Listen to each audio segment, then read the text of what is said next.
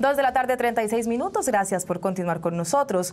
En Cartagena continúan las manifestaciones de rechazo porque ni durante los llamados días santos se detuvo la ola de asesinatos. Uno de los que más genera indignación es el de Stephanie Hurtado, sobrina del técnico de fútbol Hubert Boert.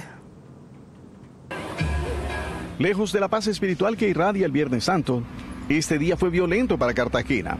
En la Semana Santa del 2022 tuvimos nueve homicidios, sin embargo en el 2023 solamente tuvimos siete cinco de ellos por riñas, uno por establecer y un sicariato. Dos de los asesinatos a los que hace referencia la funcionaria corresponden a mujeres y una de ellas era Stephanie Hurtado, una estudiante de administración de 20 años, sobrina del director técnico de Alianza Petrolera, Uber Boder.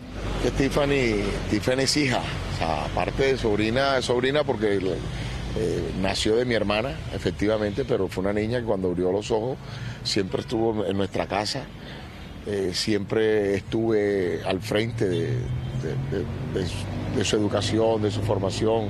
En confusos hechos en el barrio El Socorro, donde residía, la víctima, madre de un niño de cuatro años, recibió el balazo que acabó con su vida. Hemos dejado que las autoridades competentes se encarguen de esa situación, no nos han dado aún ningún parte el argumento de la policía para justificar su silencio es que cualquier información podría entorpecer el proceso investigativo.